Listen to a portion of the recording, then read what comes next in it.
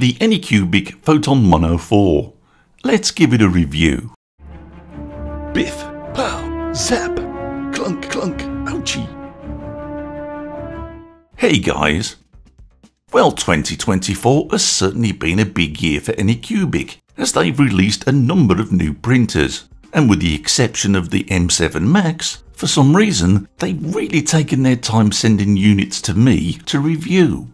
And it's no different with the Mono 4, which is fairly newish, but has been around long enough now to make my review one of the last, which I'm sure is purely coincidental and not a deliberate act by them at all. So, let's delve into an expansive, in-depth review. You know the Mono 2, right? Chuck in a new screen, and that's the M4. So I hope you enjoyed this review, guys. Take care, and thanks for watching. Okay, no, not really, just kidding. But at the same time, I'm not. Even though they're careful not to say anything on their website, the shape and dimensions of these two machines are so close as to obviously be identical. But that's not actually a bad thing. Rather than waste money on unnecessary cosmetic touches, Anycubic have kept the same carcass and worked on, hopefully, the important bits. And this isn't going to be a comparison video, but for those that have noticed the similarities, I can say this. There are differences, there really are, but you have to look hard to see them. An obvious example is build volume, that is a tiny bit bigger. But on a small printer, every millimetre counts. The build plate has a sexy etched surface and a typical 4 point adjustment. The resin tray is plastic rather than the metal that we're used to with Anycubic, and I know from personal experience that their ventures into plastic in the past didn't fare too well but I believe even then the issue was rare, and hopefully these trays are more dependable. But if not, I guarantee there's a cheap metal alternative out there that will suffice. The lid fits and does the job of capturing those nasty UVs. But when I say fits, it's almost a size too large. The Z upright seems rigid and firm, and the arm rides smoothly on a single linear rail. I'll be honest, I don't like the fact that there's nothing supporting the top of the screw thread, but the Mono 2 was exactly the same, and that seems to have passed the test of time, so this shouldn't be a concern. The plate attaches with the usual twist of a knob. The USB port is located on the right hand side, the power point and power switch are located at the rear.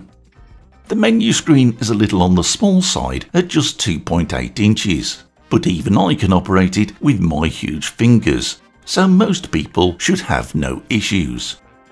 The user interface is the tried and tested Anycubic system that we've seen for a good while now.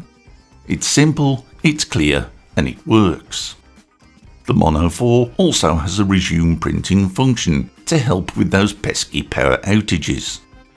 As part of their Mono 4 release, Anycubic have been keen to tell us about their new resins, some of which let us mix our own pretty colours. There's also their new bio resin that's apparently less irritating, eco and body friendly, has minimal odour, and, most impressively, maximum assurance.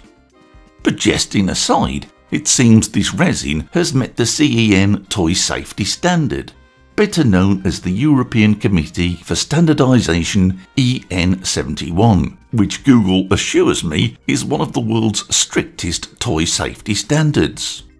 Even the MSDS for this resin doesn't read too badly to my uneducated eyes, which frankly is fantastic. So this means wearable prints and stuff that we can now safely throw at the kids, which is a very big deal and a worthy mention. But remember, before you throw away your safety gear, there are hazards present during the printing process, so do take all necessary precautions. If you don't, one day you may well wish you had.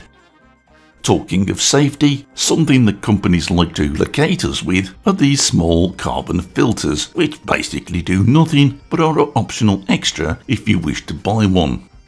However, a much more productive use of that space, for me at least, is to fit in a small heater, like this Chitu System model.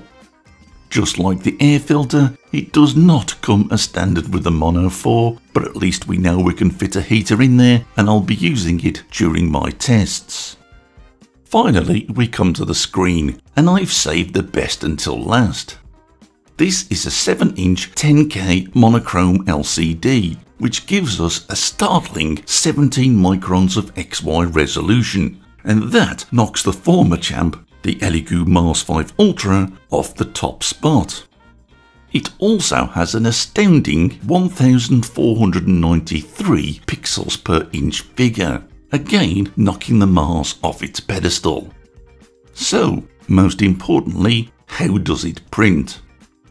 Well, I wanted to give the Mono 4 every advantage, so I turned to one of my favourite resins, the Frozen Aqua 8K, and dialed in the following settings using the Anycubic slicer. However, it's worth pointing out that there are no slicer restrictions that I'm aware of, and Lychee's latest version already includes the Mono 4.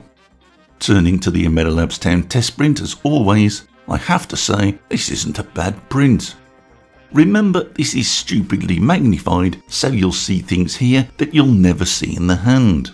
But what is important is the clarity of these tiny numbers here. They're very crisp. The open source ring again looks very nice. Beautifully sharp detail. The Mephisto head really does impress me.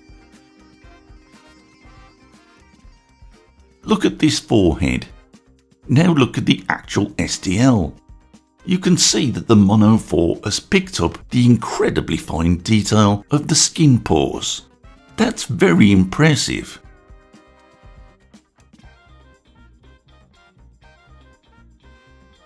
I then decided to run the same tests, but this time using full anti-aliasing and image blur. At a glance, there doesn't seem to be a massive difference but at a stupidly close-up range, it's clear the AA is working. But all in all, with printing this fine, we're reaching the point where AA is becoming unnecessary, as in the hand these prints look great. Dropping the layer height and printing this detail packed ring yields fantastic results. I don't think I've ever achieved a finer print of this ring. So what do I think of the Anycubic Photon Mono 4? Well, it's clearly a budget printer, but that's not a bad thing as it helps people get into the hobby. And whilst the appearance between the Mono 2 and the Mono 4 makes them more like twins than brothers, I've seen nothing here that would have me discourage anyone from buying it. If we look at the price, right now we've still got a couple of days of Black Friday deals going on, so it's cheaper than normal. But if the price returns to these previous figures, it has to be said there's only a tenner's difference between the Mono 4 and the Mono 2.